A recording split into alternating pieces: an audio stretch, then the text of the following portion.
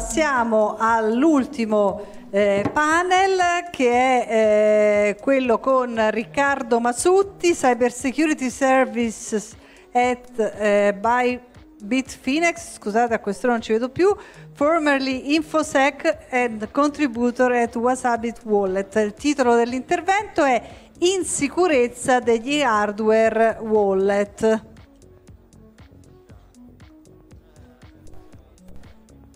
Non lo vedo. Ecco. Ciao. ecco, di adesso ci sarà la stessa cosa di prima con...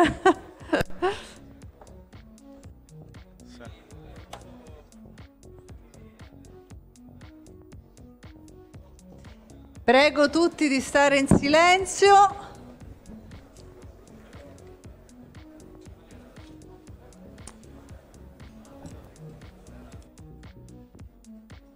Ciao a tutti, eh, vorrei iniziare questo speech facendovi una domanda.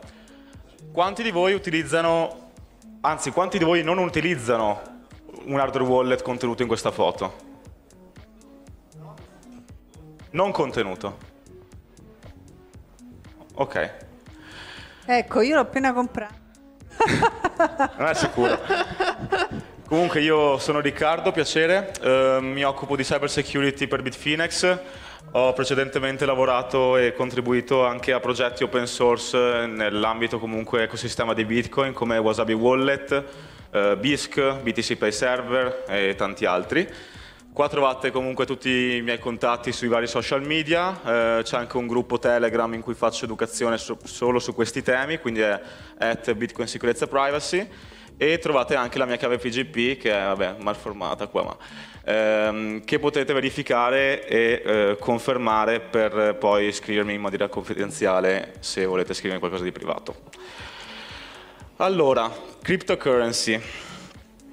Io oggi vorrei parlare di entropia e di casualità e voi magari direte che palle, cioè, perché parlare di entropia e casualità che è una cosa così tecnica e noiosa alle 5 e mezza di pomeriggio, dop- dopo due giorni di, ehm, di evento? Beh, in realtà perché la casualità è esattamente ciò che mette in sicurezza i vostri bitcoin. L'entropia è esattamente ciò che mette in sicurezza i vostri bitcoin. E capirete bene che già il nome cryptocurrency, quindi criptovaluta, fa capire l'importanza della crittografia. Un altro- un'altra frase, un altro motto che viene sempre detto da praticamente tutti i vari eh, bitcoiner nel mondo è be your own bank, sii la tua banca. Però come facciamo ad essere la nostra banca? Cioè cosa serve per essere una, una banca? Essenzialmente una banca deve fare un sacco di cose noiose, deve seguire un sacco di processi veramente, veramente noiosi e lunghi, che fanno parte del cosiddetto payment processing cycle. Quindi essenzialmente li vedete qua, quindi anche mettersi in comunicazione con tutte le altre banche per permettere lo scambio di eh, valore, per esempio nel circuito SEPA eh, o in vari altri circuiti bancari. In realtà se noi abbiamo un full node, quindi un nodo di Bitcoin, lo stiamo già facendo. Cosa stiamo facendo? Ci mettiamo in comunicazione con gli altri nodi contenuti nella rete, verifichiamo che i saldi tra noi che siamo una banca e le altre banche, quindi gli altri nodi, siano corretti e questo ci permette comunque di transare, effettuare trans- transazioni nella rete comunque senza eh, dare fiducia e senza parti diciamo oscure. Tutto è trasparente, tutto è tracciabile, comunichiamo con gli altri nodi, quindi questa, questa parte del payment processing cycle la stiamo già facendo. Un'altra cosa che le banche fanno è il cosiddetto asset management, quindi la gestione vera e propria di asset. Ed è un altro punto importante. Però direi che la cosa più importante che una banca fa è quella di mettere in sicurezza il denaro. Quindi se vogliamo essere una banca, potenzialmente dovremmo comprare queste enormi ehm, porte blindate di qualche materiale ultra sicuro eh, che disperde il calore in una maniera particolare per non permettere a ladri con varie torce di eccetera eccetera eccetera. Poi dobbiamo anche costruirci tutto intorno al, al cavò, a questa porta blindata, dei muri rinforzati, dobbiamo trovare le persone che lavorano in, questi- in questa costruzione, dobbiamo sperare che non facciano cazzate. E non solo, dobbiamo trovare un sistema d'allarme, quindi capite che è veramente, veramente difficile essere una banca al giorno d'oggi. E se ci fate caso però, eh, non tutti forse lo sanno, però la prima cosa che viene progettata quando qualcuno vuole costruire una banca è proprio il cavò. E il cavò è e deve essere estremamente resistente ad attacchi. In questa foto potete vedere per esempio un cavò di una banca privata ad Hiroshima. Sì, esattamente il posto dove hanno sganciato una bomba da 12.000 tonnellate di tritolo. Tutto distrutto, tutto spazzato via, però una cosa che è rimasta è il cavò.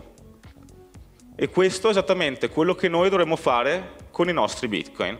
Dovremmo costruire un cavò, dovremmo trovare il modo di creare una sorta di um, contenitore veramente sicuro e resiliente agli attacchi, a un sacco di attacchi diversi. Poi però la realtà dei fatti è questa. Quindi dai piccoli uh, strumenti, a volte di metallo, a volte di plastica, che non so voi, ma non, a me non sembrano così sicuri e non sembrano così resilienti agli attacchi. Ma cerchiamo un attimo di capire cos'è un hardware wallet e cosa deve fare un hardware wallet. Tre punti. Deve essere specializzato, quindi deve fare una serie di piccole operazioni, non deve fare mostruosità o robe strane. Deve essere air gapped, quindi rimanere sempre offline. Perché? Perché è un qualcosa che è collegato a internet, è attaccabile da remoto e quindi aumenta la superficie d'attacco. E deve essere minimale, semplice, piccolo, nulla di complicato. E una cosa a cui ci tengo veramente molto è che dovremmo forse cambiare il nome di questo strumento, perché non è un wallet, non è un portafoglio, è un keychain, un portachiavi. Infatti l'hardware wallet dovrebbe gestire la coppia chiave pubblica privata per permetterci di spendere dei bitcoin. Questo è il suo, è il suo lavoro. E una cosa molto simpatica, che sempre purtroppo molti non sanno, è che all'interno di questi hardware wallet ci sono essenzialmente dei piccoli computer stupidi, chiamiamoli, quindi dei computer che non hanno un sistema operativo e fanno pochissime cose. Questi computer vengono chiamati micro, microcontroller e questo esempio, ad esempio è un Arduino, eh, per farvi un attimo avere un'idea di cosa sto parlando. Come immaginatevi dei piccoli chip, dei piccoli comunque dispositivi che sono dentro l'hardware wallet. E cerchiamo un attimo di capire graficamente come funziona un hardware wallet. Essenzialmente noi creiamo comunque una transazione sul nostro, computer che è potenzialmente attaccabile anche da remoto, visto che è collegato a internet. Inviamo la transazione sul nostro hardware wallet. L'hardware wallet, siccome detiene ed è l'unico detentore delle chiavi private, firma la transazione, la transazione poi è firmata, ritorna al nostro computer e il computer fa il broadcast su internet. Tutto perfetto nella teoria. Abbiamo un hardware wallet, è sicuro, open source, ci arriva a casa col sacchetto di plastica sigillato, possiamo verificare il contenuto, però questa cosa si limita esclusivamente a queste cose, cioè noi non possiamo verificare appieno l'hardware contenuto, questi famosi microcontroller, noi non sappiamo come funzionano, dobbiamo fidarci e porre comunque la nostra fiducia sul fatto che non siano vulnerabili o sul fatto che non contengano delle backdoor o delle vulnerabilità volute. E soprattutto mh, ci sono diverse fasi della supply chain che non possiamo controllare. Upstream, essenzialmente quando il, um, il, questi microcontroller vengono creati da un'azienda terza, i produttori poi eh, comprano questi microcontroller e nella fase di manufacturing incominciano a implementare questi microcontroller, incominciano a costruire l'hardware wallet, insomma creano il prodotto finale, poi nella fase di downstream ci viene spedito, mm, noi lo apriamo, eccetera, eccetera, eccetera. Noi non abbiamo alcuna trasparenza in, in nessuna di queste fasi, dobbiamo sempre porre fiducia. E capiamo bene che l'hardware wallet è il target perfetto per delle entità che vogliono attaccarci Dico entità per ora senza far nomi, lascio voi la fantasia. Numbers go up, Bitcoin va su, i numeri vanno sempre più su, anzi è la fiat money che va sempre più giù rispetto a Bitcoin. Le transazioni sono irreversibili, quindi una volta che una transazione viene effettuata non si può tornare indietro, non possiamo chiamare la nostra banca dicendo scusami ma qualcuno ha fatto una transazione che non ho fatto io. Il valore contenuto negli hardware wallet solitamente è enorme, Cioè, se, se parliamo di poche decine, centinaia di, eh, di controvalore in dollari o euro, sicuramente non, non, li mettiamo su un hardware wallet. Quando incominciamo a parlare di migliaia, decine, centinaia di migliaia, milioni, le cose cambiano. Ed è pseudo-anonimo. Quindi un hacker, un attaccante, un'entità che vuole attaccare il mio hardware wallet, comunque protetta dalla pseudonimia dietro la blockchain di Bitcoin. Quindi lasciatemi parlare un attimo di CryptoG. CryptoG è questa bellissima azienda svizzera fondata nel 1950 o 52, adesso non sono sicuro, che produceva essenzialmente hardware sicuri, cui, i cui clienti erano in 150 nazioni diverse ed erano principalmente governi. Circa aveva il 90% del market share, quindi aveva il monopolio.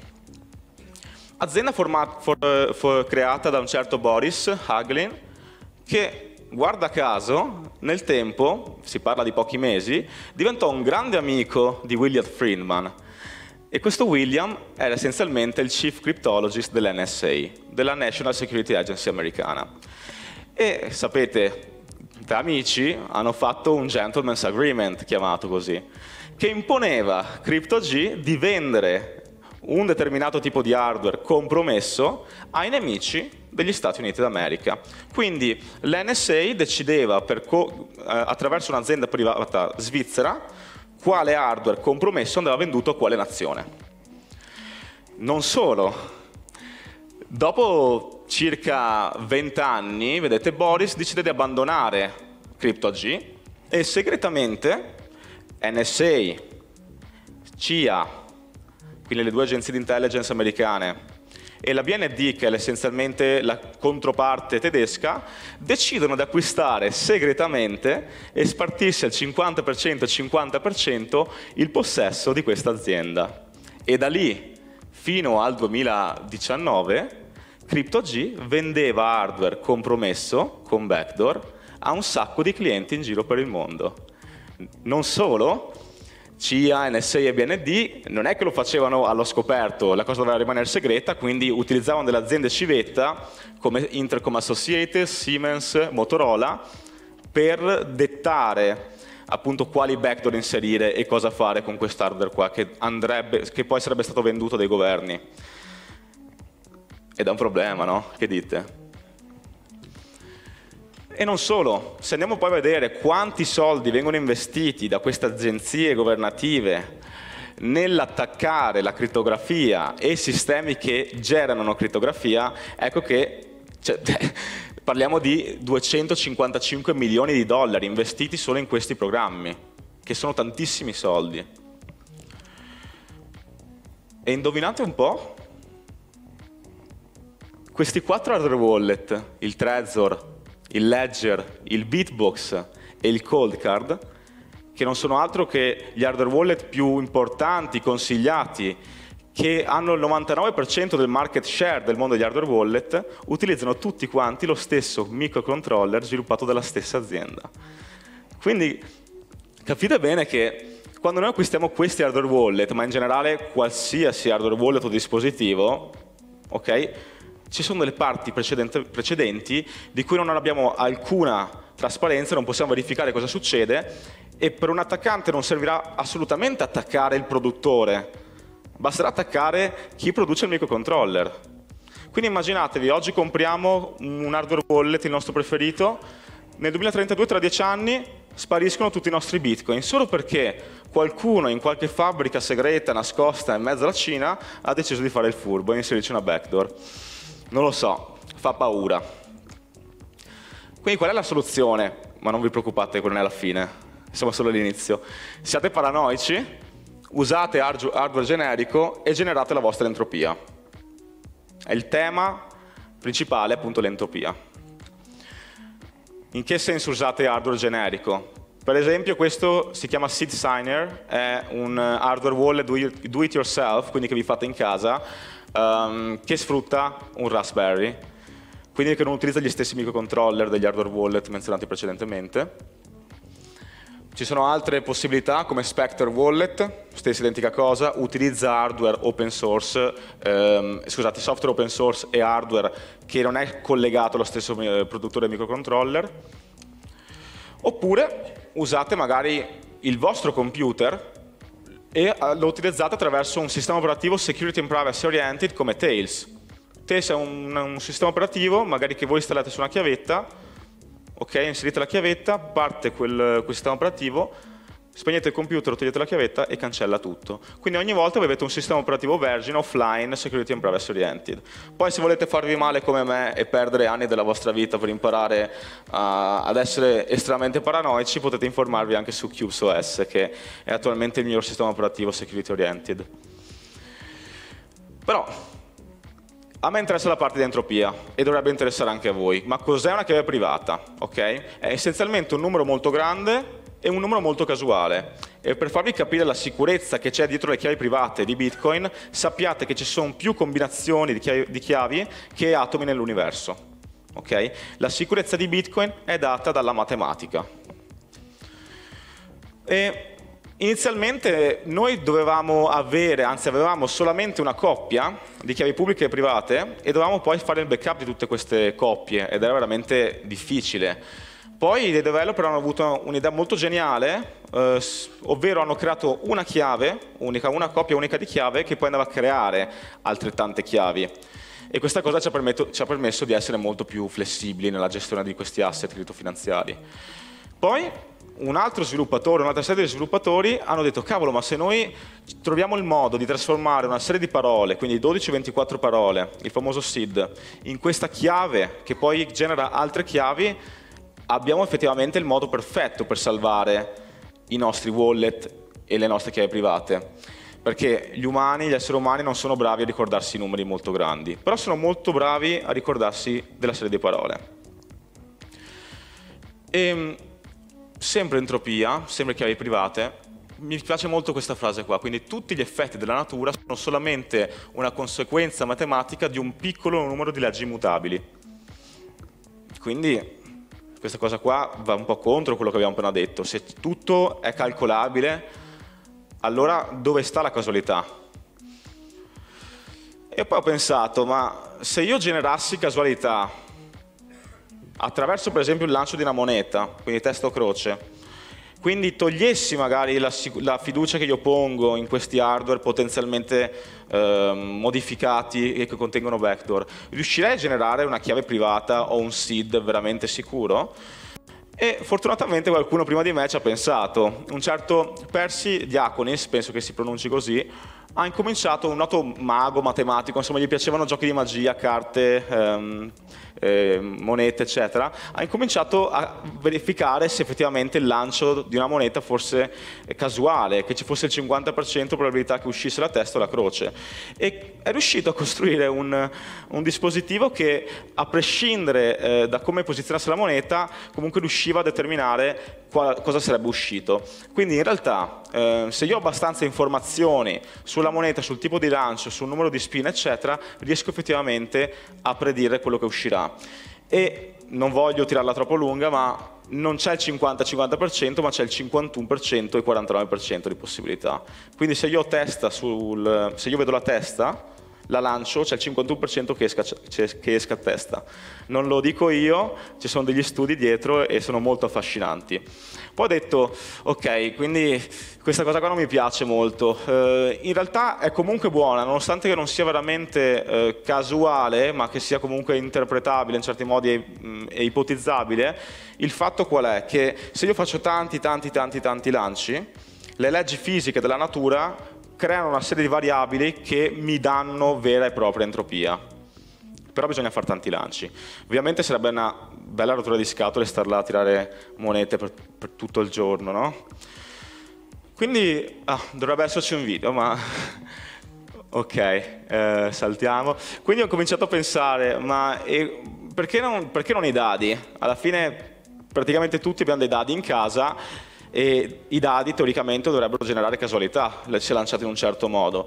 Però in realtà i dadi, quelli commerciali, non sono veramente casuali, perché ehm, vedete anche dalla foto, ehm, ogni faccia magari ha del peso in meno, ogni faccia magari ha delle problematiche, no? non, non, sono comunque buchi perfetti, ma in generale vanno a cambiare totalmente il peso del dado.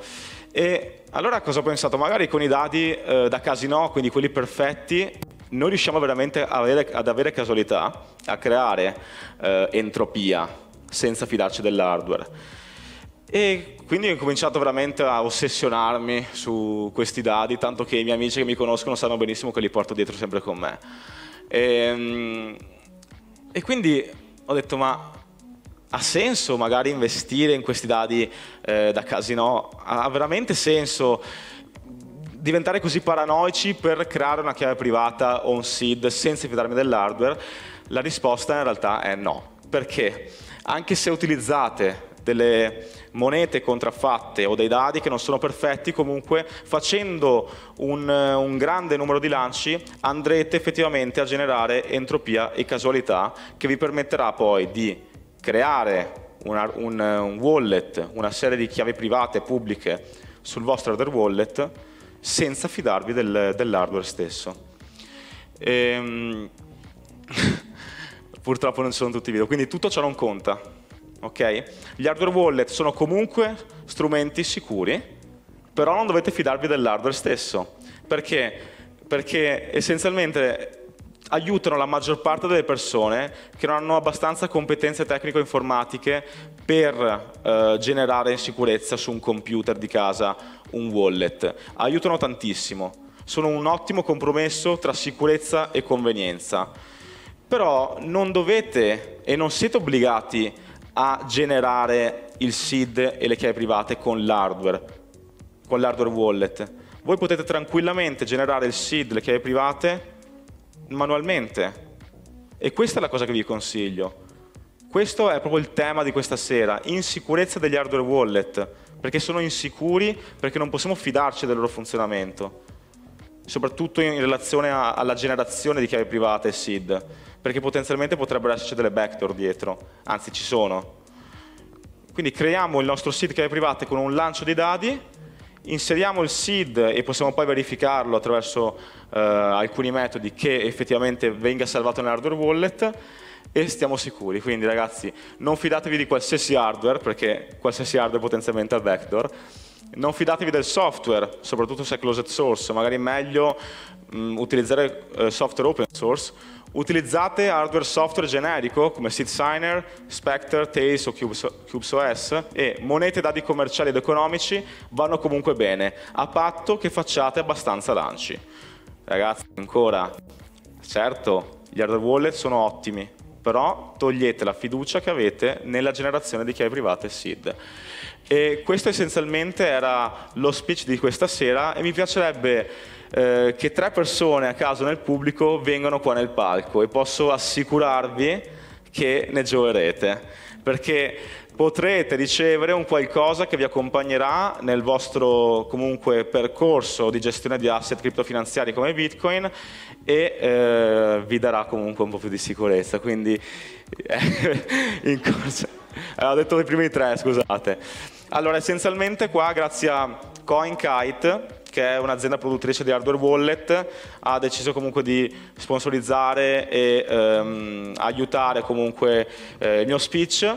E um, ho deciso appunto di regalare un set di um, hardware wallet che è in questo caso appunto il call card di CoinKite, eh, una piastra metallica dove salvare il SID e un fantastico set di 100 mini dadi, qua dentro sembra strano ma ci sono 100 mini dadi che vi permetteranno poi di eh, generare un seed abbastanza sicuro, veramente casuale, grazie comunque alle leggi fisiche, ehm, senza fidarvi dell'hardware wallet, quindi eh, sono fortunati. Grazie.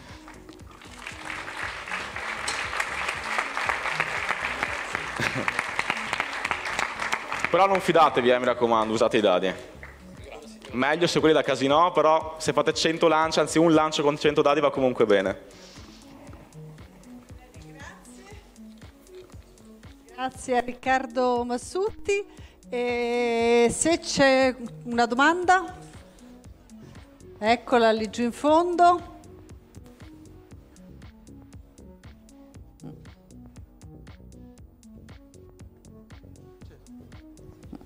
prova.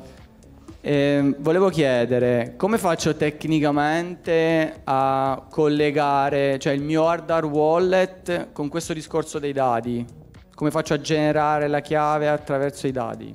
Eh, dipende dall'hardware wallet, da hardware wallet a hardware wallet. Eh, attualmente la maggior parte di hardware wallet permettono di inserire ehm, comunque dei, un seed attraverso il lancio dei dadi, altri invece permettono per esempio di um, sì generare il seed attraverso il random number generator dell'hardware wallet, ma di aggiungere entropia attraverso i dadi. Quindi essenzialmente ci sono più cose che si possono fare, si può creare esclusivamente tramite i dadi oppure aggiungere entropia, aggiungere casualità eh, con il lancio degli stessi. Dovete però verificare eh, nel, nella documentazione eh, del vostro hardware wallet preferito. Quindi parlo per me che ho il ledger, posso aumentare l'entropia con i dati quindi? Do, sì, dovresti poterlo fare, o, ma addirittura te potresti per esempio ehm, decidere di creare il seed manualmente sfruttando comunque una lista di, eh, di parole eh, appunto del... Ehm, Le 24 parole. Seed, e poi inserirle manualmente sull'hardware. In quel caso però vedi il problema che alcuni hardware wallet non ti fanno verificare eh, fino in fondo che quello che inserisci effettivamente è quello che vorresti inserire. Uh, quindi qua si aprono comunque altri scenari uh, da considerare. Purtroppo non ho avuto moltissimo tempo stasera, però sicuramente se entrate nel gruppo Bitcoin Sicurezza Privacy uh, ci sono tantissime persone che vi possono aiutare in tal senso, c'è gente che utilizza veramente, cioè abbiamo utenti per ogni tipo di hardware wallet che hanno già fatto questo processo qua.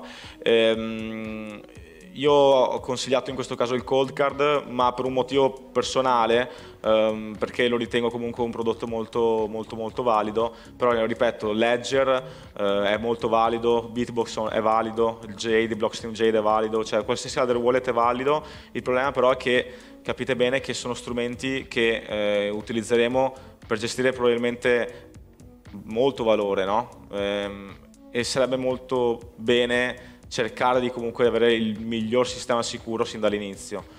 Um, purtroppo però, uh, l'ho detto, lo ripeterò, um, la sicurezza come la privacy non è, un, non è un acquisto ma è un processo quindi non, non, esiste al mondo uno strumento che potete comprare che vi darà massima privacy o massima sicurezza. Si tratta di studiare, capire comunque le problematiche dentro il mondo della cyber security eh, o della privacy e poi cercare di applicare comunque concetti che eh, trovate in giro che avete imparato questa sera per migliorarvi.